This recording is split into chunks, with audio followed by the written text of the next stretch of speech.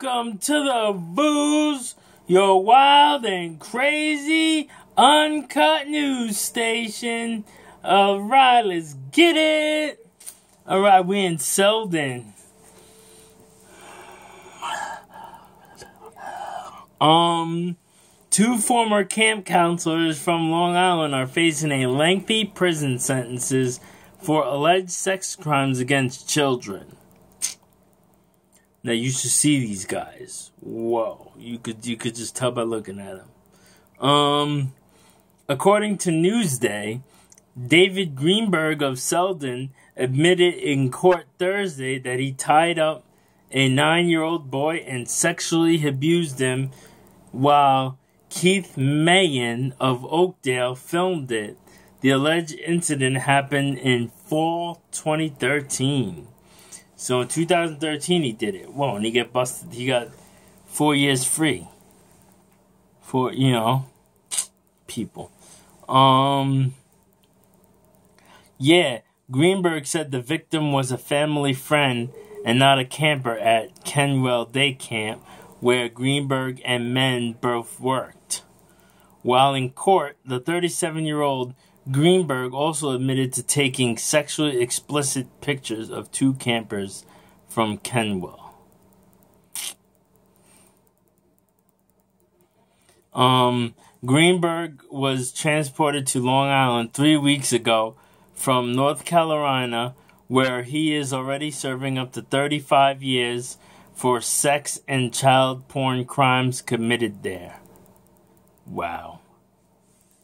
Um, Laura Ahearn of Parents for Megan's Law says knowing the warning signs can help protect kids from child predators. Um, yeah, so if you've seen these guys, um, they look like homos, and they, um, I wouldn't let my child be with them or close to them if, by looking at them. Um, yeah, so when the camp counselors are too are a little too interested in your children or maybe want to take your children or teens outside of the camp, those are indicators that something might be wrong, she says. Um that's true. That's a little weird. Yeah, like I do not want to babysit no kids or no one after what I'm paid for. Um Greenberg pleaded guilty to first degree criminal sex act and possessing a sexual performance by a child. Um, he will be sentenced on October 17th and faces 25 years in prison. Um, Meyn, Meyn received the maximum sentence of 15 years in prison for use of a child in a sexual performance. It's nasty. Boys are nasty. That is nasty.